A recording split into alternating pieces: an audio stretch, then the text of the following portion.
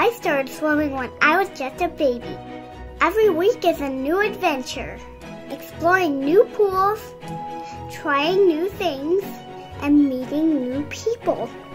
So jump in with me because life is fun when you just add water.